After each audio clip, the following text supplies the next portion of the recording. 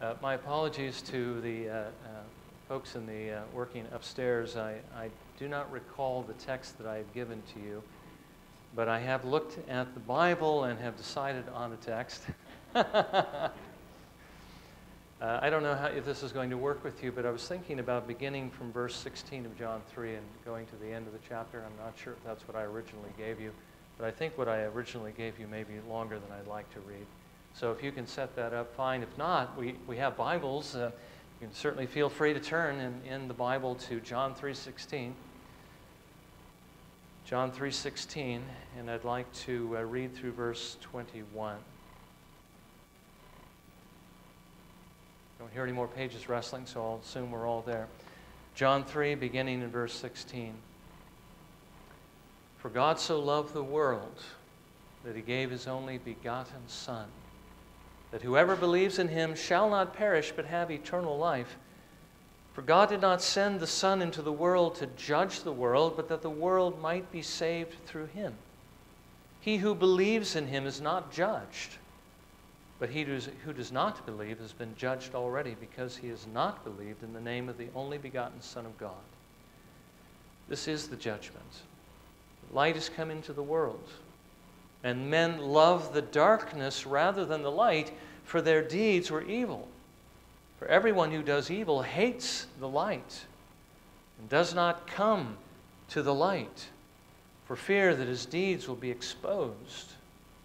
But he who practices the truth comes to the light so that his deeds may be manifested as having been wrought in God. May the Lord bless his word to our hearing this evening. Let me just mention at the outset that, um, you know, the Gospel of John, that's, that's usually where we ask people who are first coming to Christ, we tell them, read the Gospel of John. And why do we tell them to read John?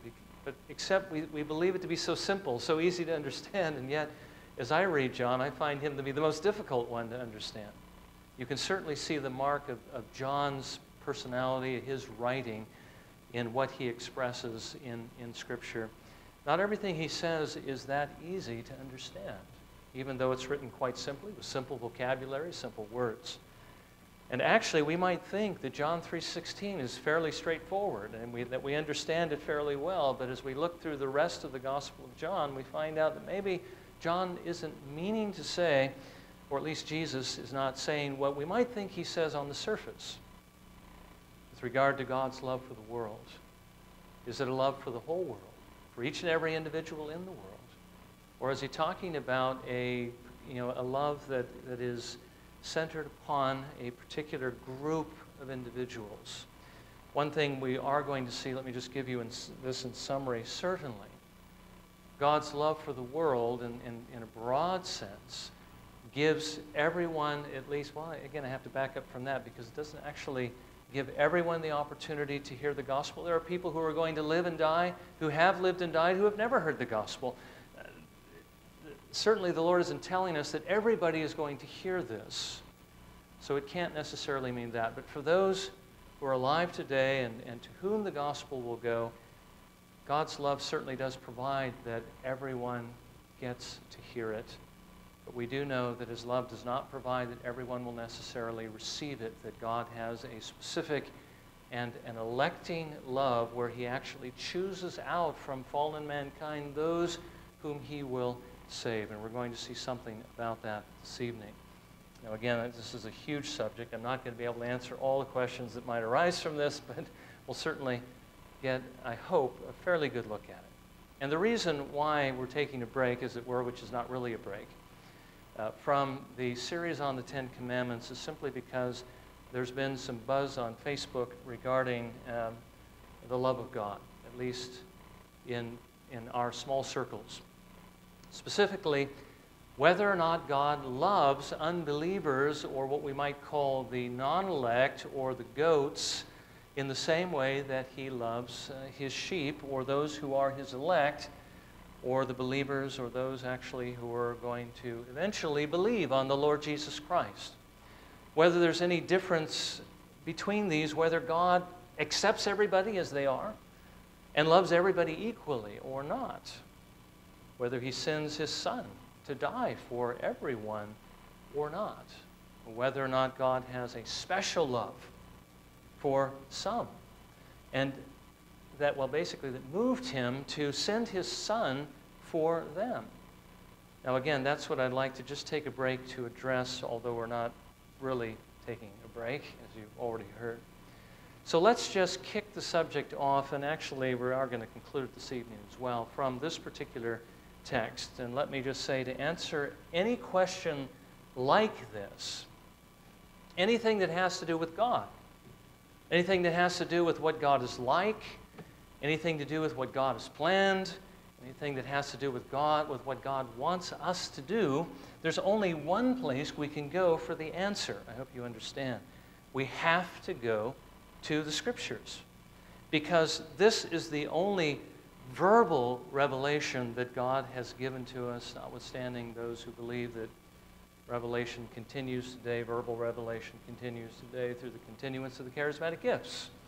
Uh, we don't believe that that is the case, and even if it were the case, he would not contradict what he's already said. This is the standard. There's a nonverbal revelation in creation that tells us that God is, tells us certain things about him, but this is where we need to go.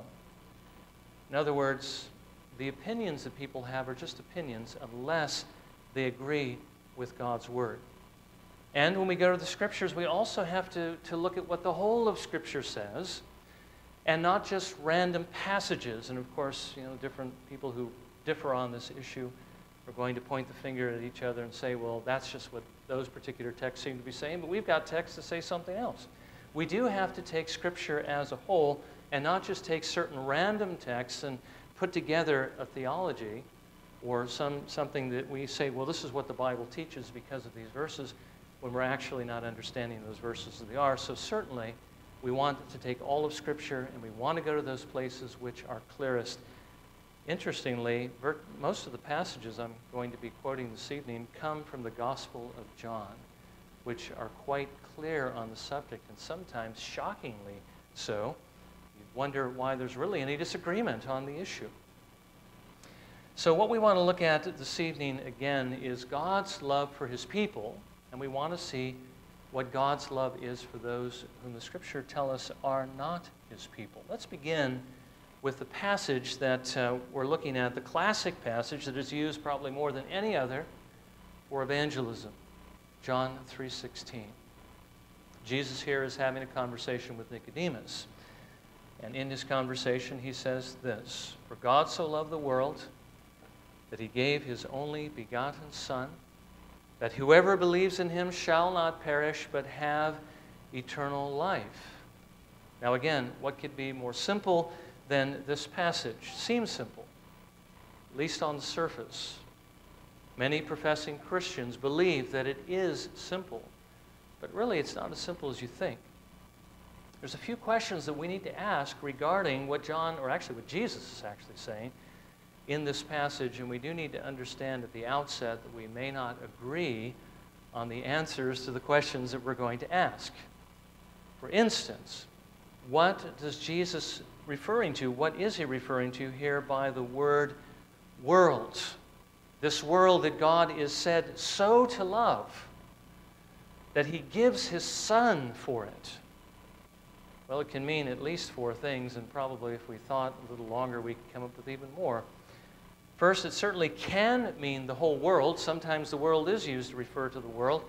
Each and every individual in the world who has ever lived, regardless of nationality. And this is the way that many people understand this passage today.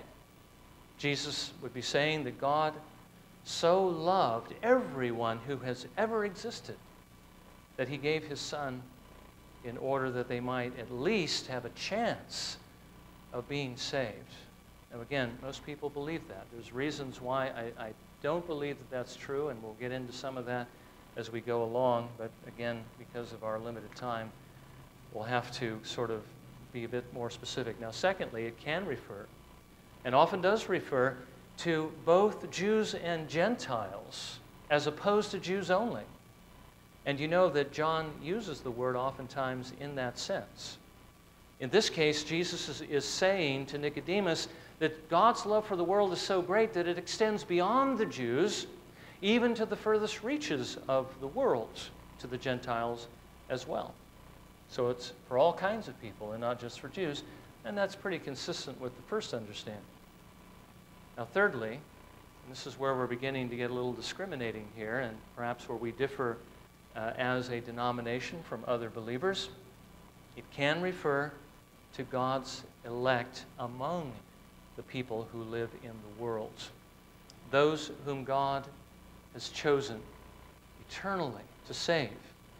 And basically, the text would be saying this that God so loved the world that he gave his Son for those who by his grace would trust his Son from both Jews and Gentiles. And that those he would secure by his grace, they would not perish but have eternal life. Or, of course, it could be referring specifically to the elect among the Gentiles, and that would be that Jesus is telling Nicodemus that God's love for the world is so great that, again, God has not only those among his Jews, but his love extends to all the nations, not just to the Jews, though it wouldn't exclude the Jews, but to those who for so long have been alienated from God. So, again, the idea each and every individual, uh, Gentiles as well as Jews, the emphasis perhaps being on Gentiles, the elect among the Jews and the Gentiles, or perhaps referring to the fact that God has his people among the Gentiles, his elect. Now, which of these does Jesus mean? Now, here's, here's where I think we need to make a bit of a, a distinction. One thing I want us to understand, and I've already mentioned this, is we're not denying, no, nobody I think would deny that the gospel that God has provided is, has been, well, given in such a way that he may offer it freely to everyone indiscriminately. But we do need to understand that God has a discriminating love. He has a choice that he has made. He has his people that he sent his son into the world for. And I, I do believe as we look at the results of what he sent his, his son into the world to do, that we see some of that discrimination. First of all, let's consider what it is that his love moved him to do for the world. And again, for God so loved the world that he gave his only begotten Son. This love of God for the world moved him to give his Son for the world. Now, to give his Son that his Son might do what? Well, look at verse 16.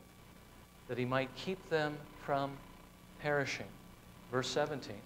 That he might save them. Again, verse 16. That they might have eternal life. Now, for whom did Jesus do this? Whom did he save? Whom did he give eternal life? Everyone in the world? Well, obviously not. But he did it for a specific group of people called his sheep. These are the elect, these are his chosen ones. Now, Jesus says, and here's where we get into, um, well, especially the, the, what we call the, the Good Shepherd discourse in John chapter 10, verse 11. And perhaps, um, perhaps you might want to turn up John chapter 10 because we're going to be looking at several verses in that particular chapter. Gospel of John, chapter 10. Again, we see some discrimination here.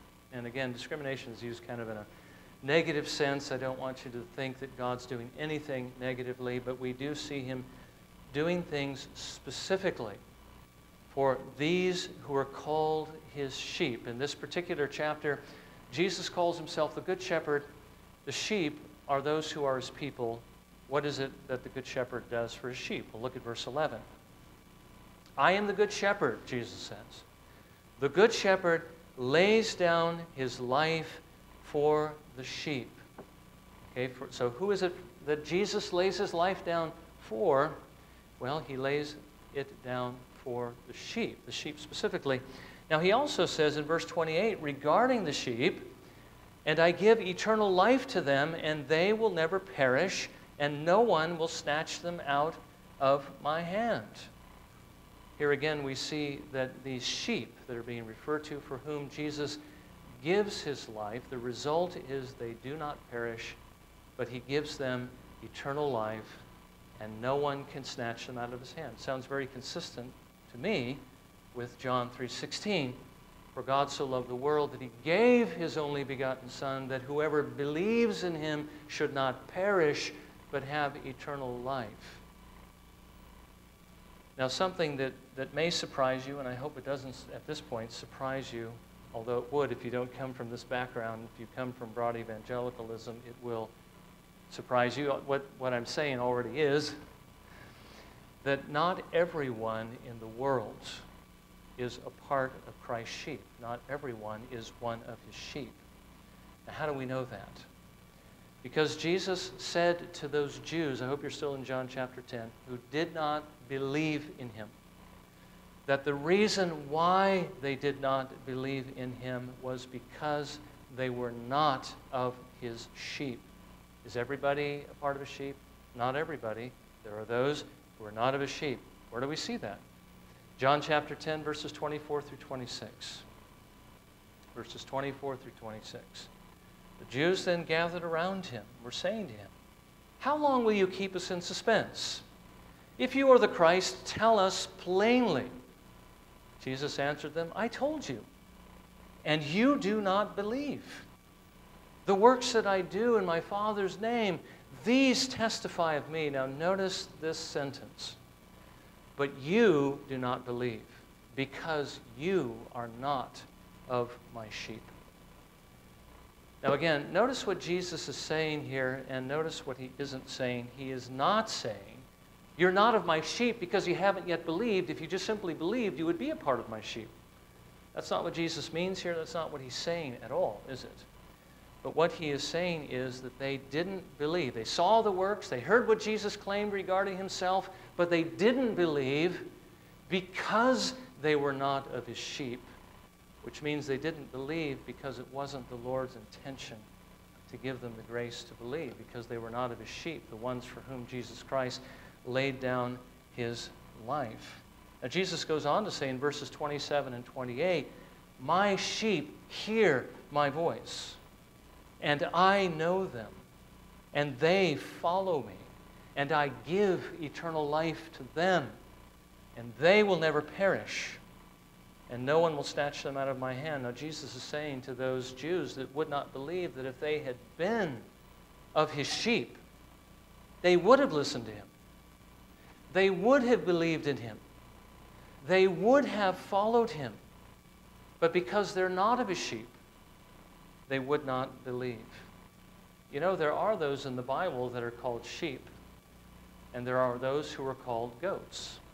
And basically, that is the division of the whole human race in terms of those whom the Lord deals with in this way and those whom he does not deal with. And that's why at the end, on the day of judgment, they're going to be gathered and, and separated into these two groups.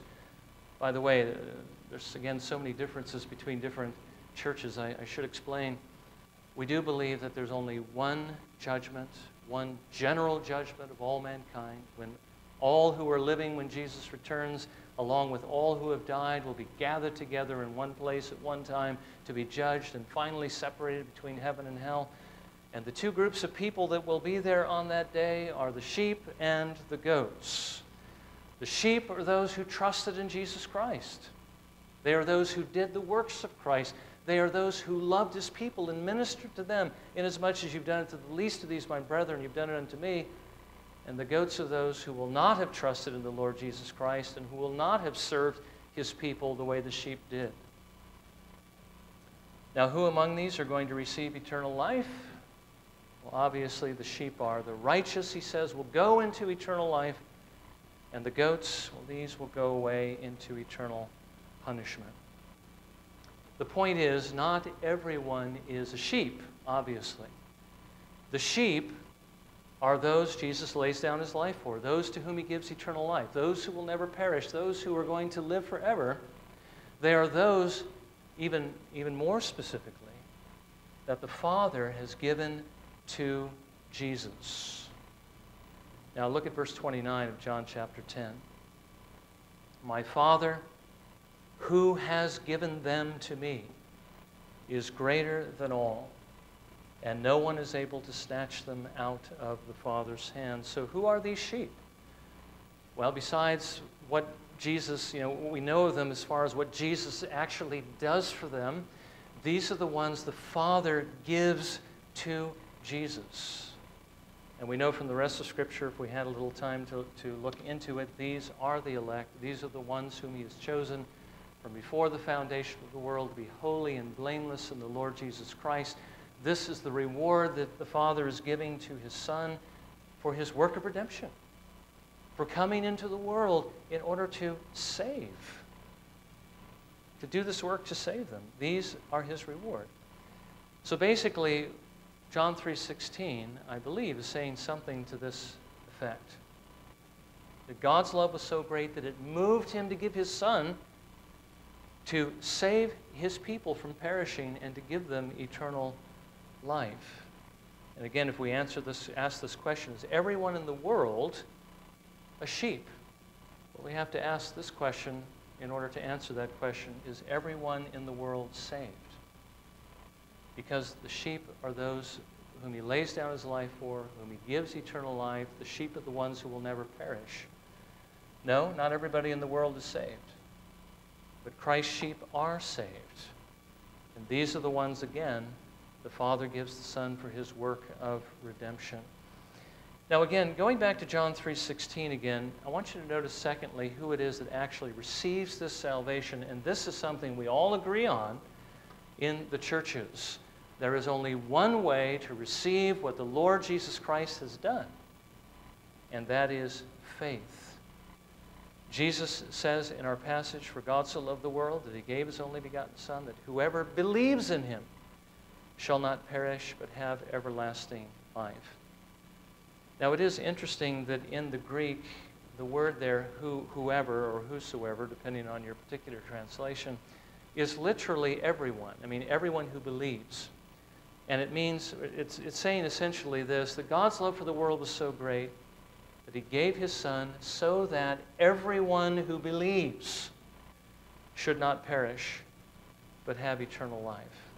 There's the big you know, difference between whoever and everyone, but I think everyone does tend to make it a little bit clearer that God is saying to the, basically this that God's love for the world was so great that he gave his son so that everyone who actually believes in him will be saved and will not perish but again, we ask the question who is it that will believe in the Lord Jesus Christ? Well, we've already answered that question. Only Christ's sheep. Remember what Jesus says in John 10, verses 27 and 28. My sheep hear my voice, and I know them, and they follow me. And I give eternal life to them, and they shall never perish and then he says to the Jews who didn't believe, You do not believe because you are not of my sheep. So, who is it that is going to be saved? Those who believe. Who is it that's going to believe? Those who are Christ's sheep. Why are they going to believe? Well, if we had time, we'd look more deeply into this. The reason why they believe is because Jesus lays his life down for them because he sends his spirit and gives his spirit, even as he told Nicodemus earlier in this, in this chapter. Unless you're born again of the Spirit, you will not see the kingdom of heaven. Unless you are born of the water and the Spirit, you will not enter into the kingdom of heaven. The, the wind blows where it wills. You hear the sound of it, but don't know where it comes from or where it is going. So it is with everyone who is born of the Spirit. The flesh profits nothing, he says in John chapter 6. It is the Spirit who gives life. So, who is it that's going to believe on the Lord Jesus Christ? It's the sheep because the Spirit of God changes their hearts, makes them spiritually alive and able to believe. That's why the sheep alone believe, and why the Jews who didn't believe in Jesus Christ, how Jesus knew plainly they were not of his sheep. Because if they had been, they would hear his voice because the Spirit would be working in their hearts. They would follow him, but they are not following him. They do not believe. So, whom did God send his Son into the world to save? Not just Jews, but Gentiles. And he may have been referring primarily to the Gentiles here without excluding the Jews. But not everyone in the world. It was for Christ's sheep that he came to lay down his life, for those who would believe, for those who would receive him again by his grace. For those who would never perish because he had given to them eternal life. By the way, this, I think, opens up this text when Gabriel comes to Joseph. And Joseph is wondering, well, you know, this gal I'm engaged to, uh, she's expecting a child, and, you know, there's only one way you can uh, conceive. She must have been unfaithful, so he was thinking about putting her away. But then Gabriel, the angel, comes to him and tells him not to put her away because the one conceived in Mary's womb is very special. This is what he says regarding Jesus. Matthew 1:21, "She will bear a son, and you shall call his name Jesus." Why? For he will save his people from their sins. Now, is Gabriel telling uh, Joseph that this one who is coming into the world is going to save the whole world, each and every individual? No. He's coming into the world to save his people. And notice that they are his people coming into the world. He comes into the world to save a specific group of people called his people. These are the sheep, these are again God's elect. They don't become his people, they don't become his sheep by believing. But because they are his people, because they are his sheep, they are given grace in order that they might believe. God's love was so great for those that he had chosen that even when there was nothing at all good in them, but only evil, he gave his only begotten Son that they might not perish but have eternal life. That is what I believe is behind what Jesus is saying here when he says, For God so loved the world it's been pointed out that the world often has a very evil connotation. The world is fallen and under the power of the evil one, and we were children of wrath, even as the rest.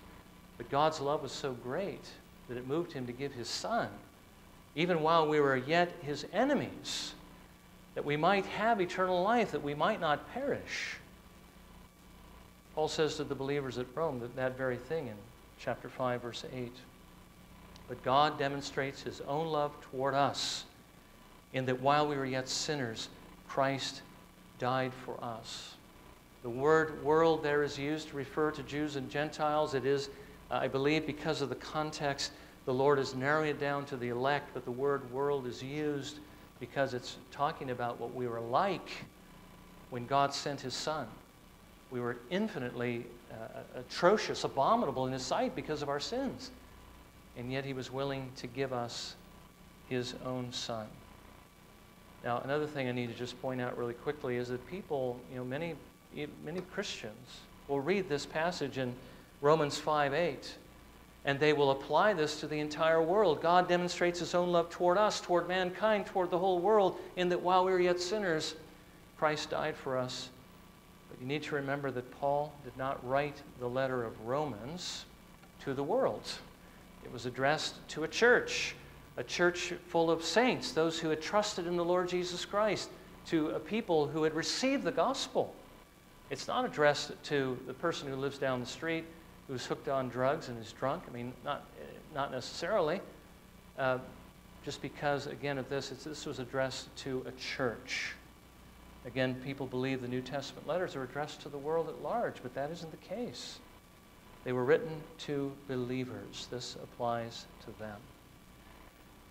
Now, again, we do have to remember that even though God sent his Son into the world specifically to die or to lay down his life for his sheep, and that those sheep will trust him and he gives eternal life to them and they will never perish, it does not mean, as we're going to see, that God did not give his Son so that everyone who hears the gospel may have the opportunity to be saved. Uh, God is so gracious, we're going to see in just a moment here, boy, time is getting away from us, that He does love, or He, he gives a certain kind of love to unbelievers, even offering them the gospel and the opportunity to be saved, which we're going to see, of course, they will reject because of their sins. Now, as we move into this next section, I do want to point this out that we are going to look at a description of what the Bible says that we are like apart from the grace of God. That is what uh, the goats are like always, throughout the time they come into the world to the time they leave. But this is also what we were like before the Lord gave us His grace. And so, as we, as we look at what the goats are like, understand that that's what you were like And that's what's contained in this word world and this great love of God in giving his son for us when we were in that condition. Now let's ask the second question. We've seen what God's like is uh, his love is like for the elect, for his sheep, for his people. Does that mean that God doesn't love everyone else? Those who are not his sheep? Does this mean that he doesn't love the goats? Well, I hope you understand by this time it's certainly clear that he doesn't love them in the same way that he loves his sheep. The sheep are those whom he's going to welcome into heaven, those whom he's prepared a place for, um, and is going to dwell with them forever. But the goats are those he's going to cast into hell. There's a clear difference between them.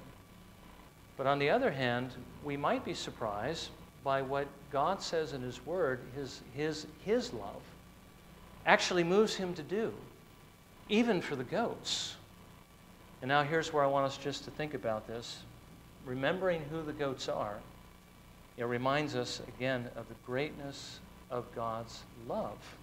Because the goats are those that the Lord is ultimately going to pass over in His mercy, which the Bible tells us God may very justly do when you consider what they are like, what it is they have done, and against whom they have done it. And again, I just want to remind you that we did these same things, and we were a part of the same human race, and we were just as, as wicked as they are. You and I came into the world as children of wrath. We were under God's wrath. We were, we were actually heading in that direction, but it was God's mercy and grace that intervened, that turned us around.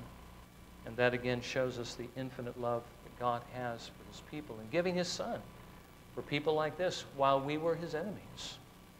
So, what are the goats like?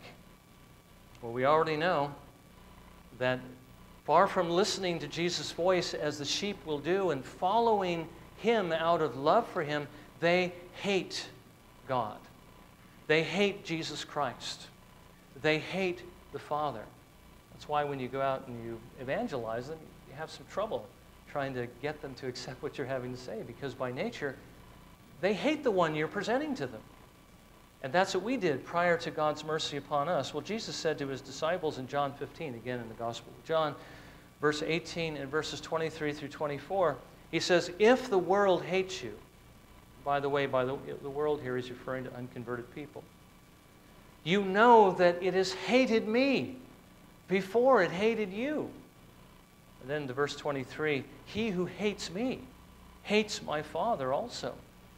If I had not done among them the works which no one else did, they would not have sinned. But now they have both seen and hated me and my Father as well. But they have done this to fulfill the word that is written in their law. They hated me without a cause. So, what are the goats like? What are unconverted people like? They hate God, they hate Jesus Christ. Now, isn't there anything good in them? Isn't there even the least little spark of goodness by which they can reach out to Jesus Christ and receive Him, at least want Him to some degree when He's offered to them? Well, actually, the Bible says no. There is nothing good in them at all. Paul, commenting on the human race, says in Romans chapter 3, verses 10 through 18 There is none righteous, not even one. There is none who understands there is none who seeks for God. All have turned aside. Together they have become useless. There is none who does good. There is not even one. Their throat is an open grave. With their tongues they keep deceiving. The poison of asps is under their lips, whose mouth is full of cursing and bitterness. Their feet are swift to shed blood. Destruction and misery are in their paths, and the path of peace they have not known. There is no fear of God before their eyes. Is there anything good in the unconverted? Paul says, absolutely not. Paul goes on to say in Romans chapter 8 that they are in the flesh, they have nothing of the Spirit of God, they are hostile toward God, they refuse to submit to Him. Listen to what Paul writes in Romans 8, verses 6 through 8. For the mind set on the flesh is death. By the way, he's talking here about those who have nothing of the Spirit, those apart from the grace of God, This is the unbeliever. This is what he's like. For the mindset on the flesh is death, but the mindset on the spirit is life and peace, because the mindset on the flesh is hostile toward God. For it does not subject itself to the law of God, for it is not even able to do so. And those who are in the flesh cannot please God. So, is there a spark of goodness in all mankind that they can receive Jesus Christ when He's offered to them? No, they can't subject themselves to the law of God. They're hostile toward God. Those who are in the flesh cannot please God. Jesus said in John chapter 6 it is the Spirit who gives life, the flesh profits nothing. Jesus goes on to say that no one can come to me except the Father who sent me draws them. And he does that by his Holy Spirit. Well, it shouldn't surprise us then that the goats, the unbelievers, refuse to come to Jesus Christ that they might be saved. Remember what I read in John chapter 3, connected to the same passage about God's love for sending his Son into the world. He says this in verses 19 and 20. This is the judgment that the light has come into the world, and men love the darkness rather than the light, for their deeds were evil. For everyone who does evil hates the light and does not come to the light for fear that his deeds will be exposed. So, just in summary, every unbeliever, according to the scripture, hates the Father, hates Jesus, refuses to submit to God, will not come to the Son in order that they might have salvation. Why does anybody come to Christ if this is the way unbelievers are? Well, again, it's because of the work of the Spirit of God. Those whom the Father gives me, Jesus says he will draw them to me. The Spirit breathes where he wills, and he creates this newness of life. But God, in his mercy, while you were dead in your trespasses and sins, made you alive. He made you alive by his Holy Spirit. Now, one thing we don't want to forget about is the fact that, that God is actively restraining the wickedness of men in this world so that we don't really see what they are like. And we look at these descriptions of fallen mankind. We look at the world around us and we say, hey, my neighbor's kind of a nice person. You know, sometimes he offers to help me do this and that, and sometimes, you know, he's doing nice things for me. How can he be the way that God says he is? Well, if he's not trusting in Jesus, that is the way he is. That's what the Bible says. The reason why he's not as bad as he could be is because God is restraining his sin. So don't let that confuse you into thinking that your neighbor who is unconverted is anything other than what God says that he is. And remember that that is what you were like before God had mercy upon you. And this shows again the depths of God's love, that he was willing while you were part of the world, to send his Son into the world so that you might have everlasting life, so that you might not perish. That is the depth of his love. Now, these are the goats. Does God love them?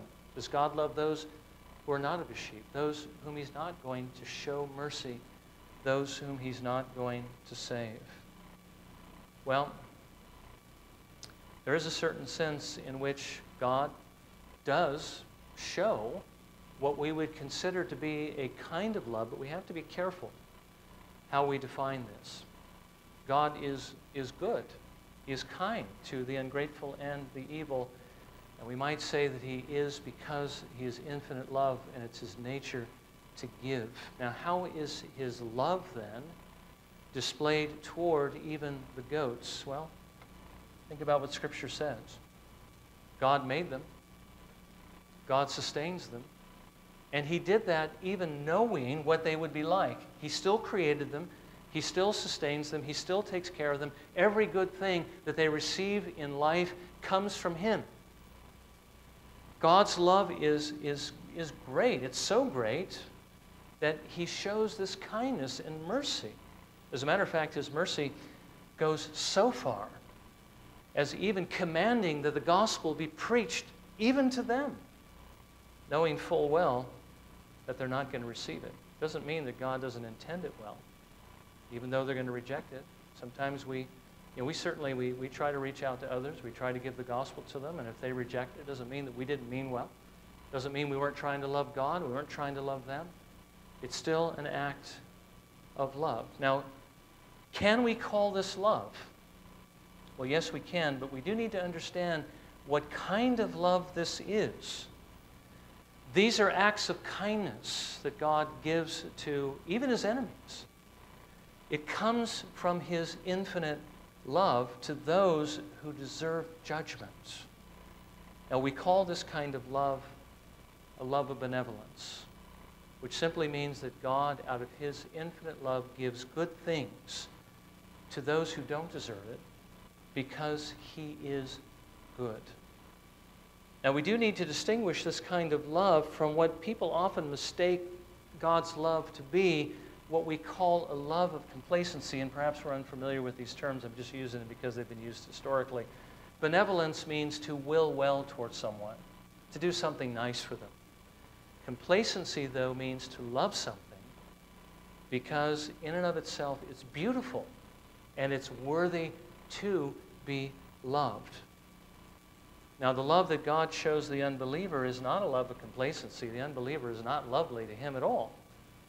But it's a love of benevolence. It's a benevolent love. He gives them good things because he is good.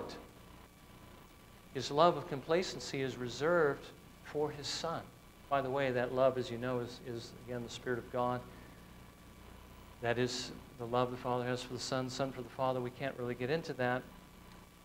But this love of complacency, this love that God has for his son, because he looks at his son and he sees in his son his perfect image, is the love that God has for his son alone, but also for those, you might say, who are in the son, those who have trusted in the Lord Jesus Christ. Now, remember, before you came to Christ, you were described by what we saw in Scripture as hating God, hating Jesus Christ, and having nothing good in you at all, and being hostile toward God, and not submitting yourself to God.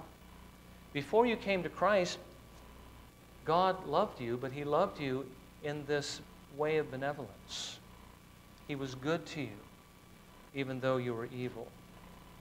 But now that you are in His Son, He loves you in the same way that He loves His Son in Christ, you are clothed with the righteousness of Jesus Christ, all his good works, everything he's done.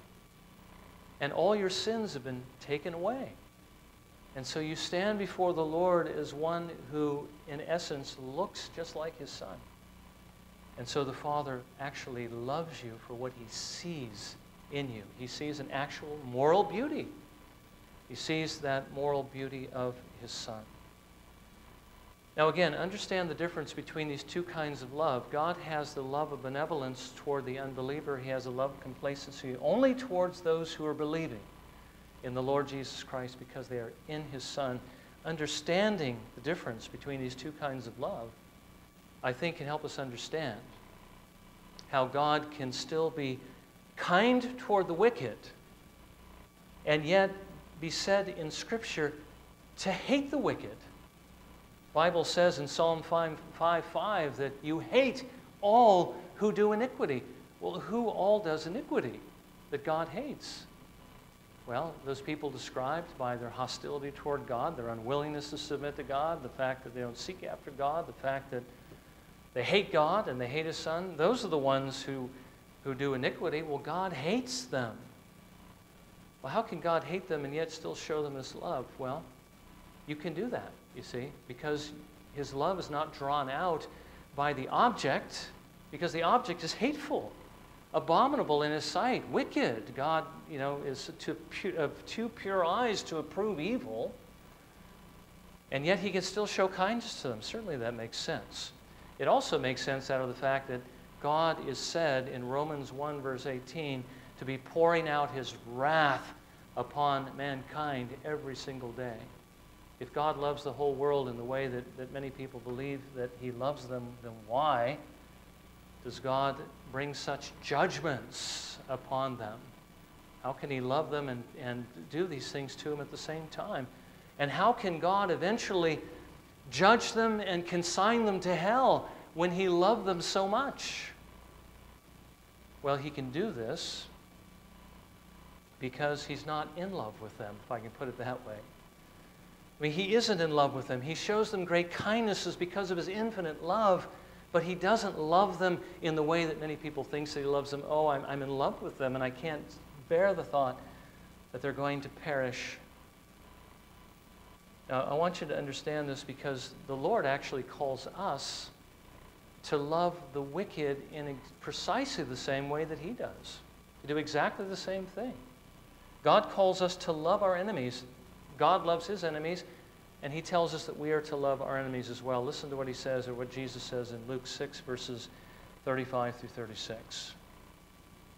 But love your enemies, and do good, and lend, expecting nothing in return, and your reward will be great, and you will be sons of the Most High. For he himself is kind to ungrateful and evil men. Be merciful, just as your Father is merciful.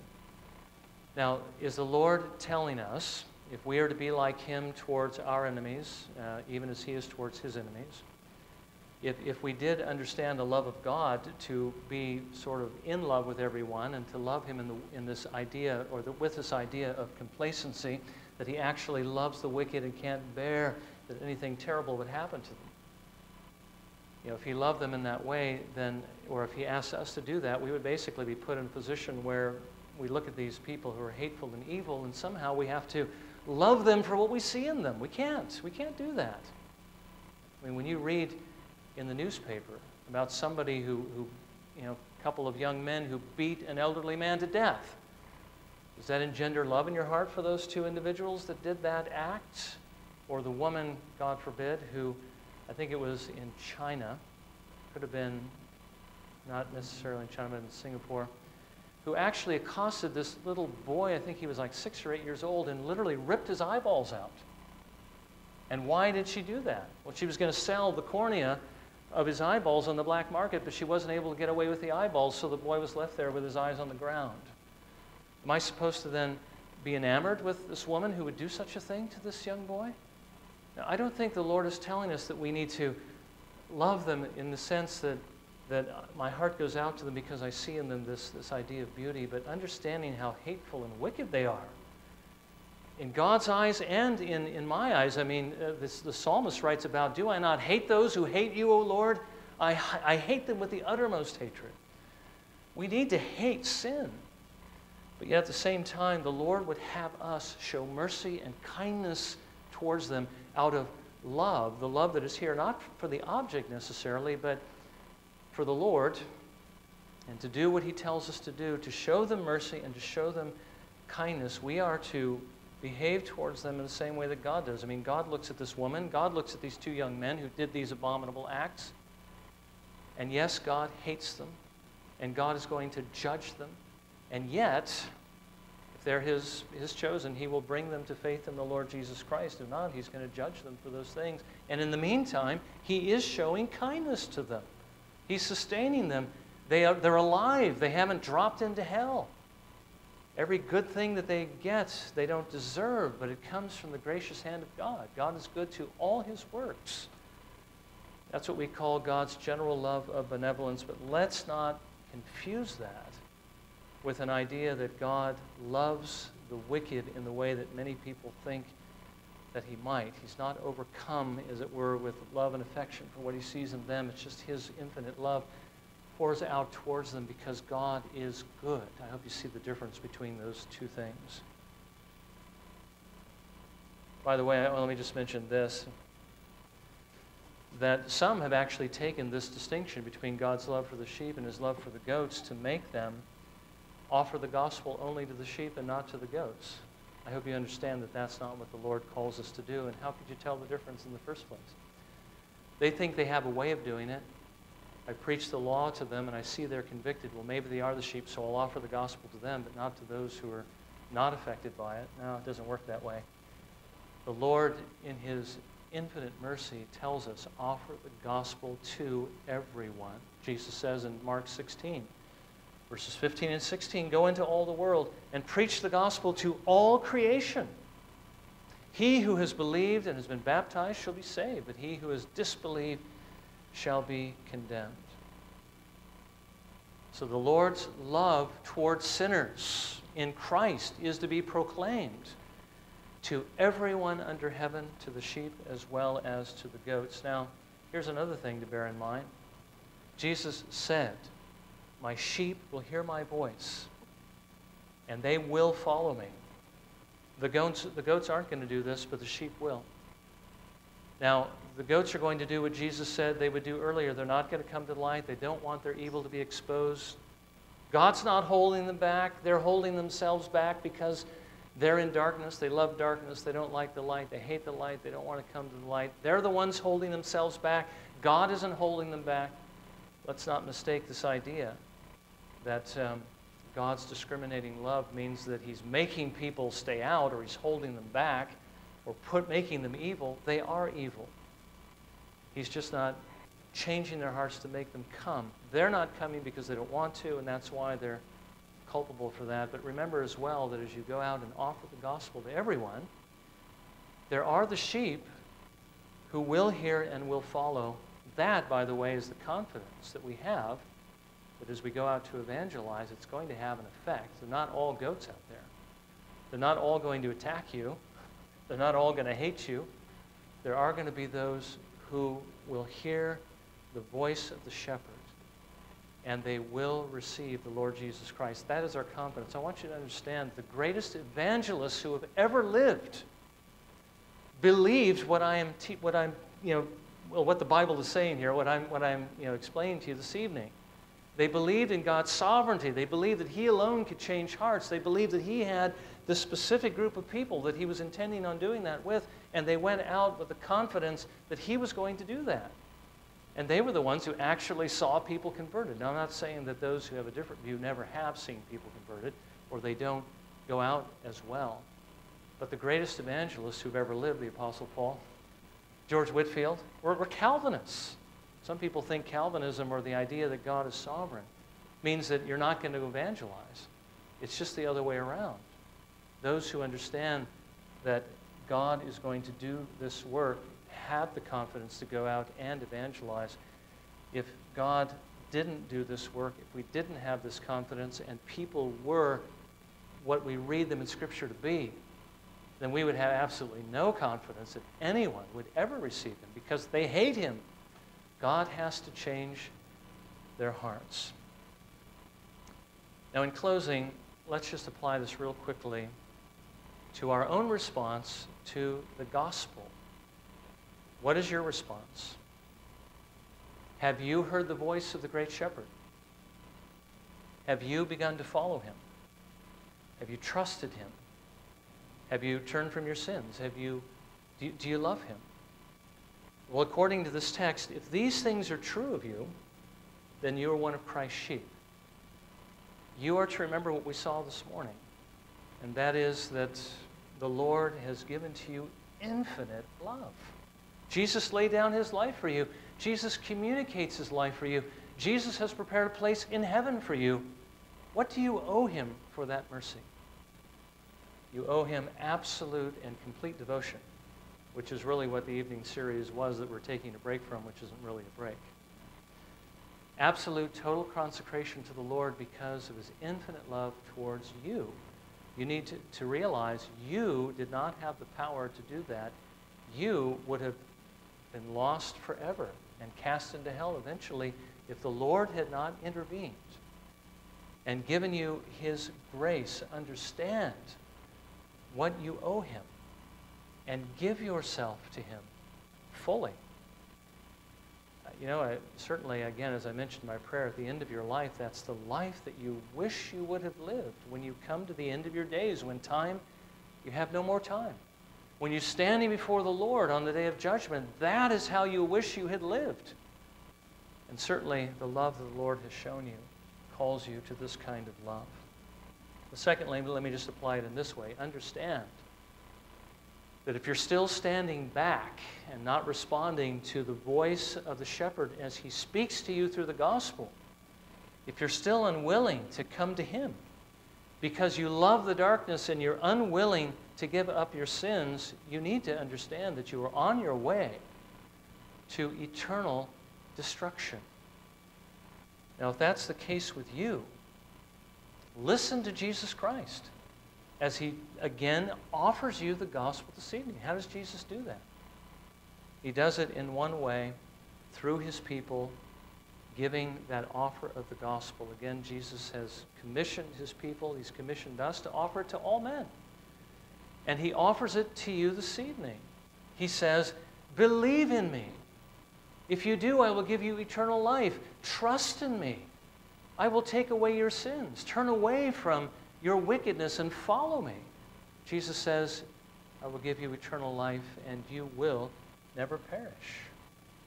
May the Lord grant that you may hear his voice and listen to him and do what it is he calls you to do. May he give you the grace to do that so that you may come out of the darkness and lay hold of the Savior and experience that infinite love that we have been looking at in Scripture. Well, may the Lord grant this mercy and grace. Uh, let's, uh, let's bow for a moment of prayer and let's ask the Lord to take what we've heard. And I understand we have heard a lot, but hopefully we've understood what we've heard. Let's ask Him to take this and show us how we need to apply it this evening.